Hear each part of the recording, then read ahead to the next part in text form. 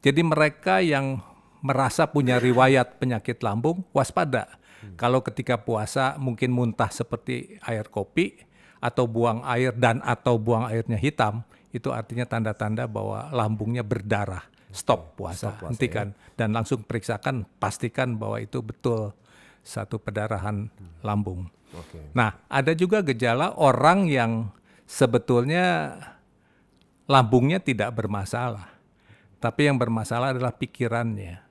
Jadi yang kita sebut penyakit lambung karena masalah kejiwaan. Jadi suka ada cerita dok, kok saya waktu puasa lambung saya malah lebih enak ya dok. Kan mestinya kalau orang sakit mah dari awal ya lambungnya tidak enak di bawah puasa karena itu kan menderita. Nah itu membuktikan bahwa kalau orang di bawah puasa yang sebelumnya penyakit mah uh, dirasakan, ketika puasa kok lebih enak karena jiwanya lebih ayem, lebih tenang. Nah, itu pembuktian terbalik. Dari Bio 7, jamu tetesnya orang Indonesia.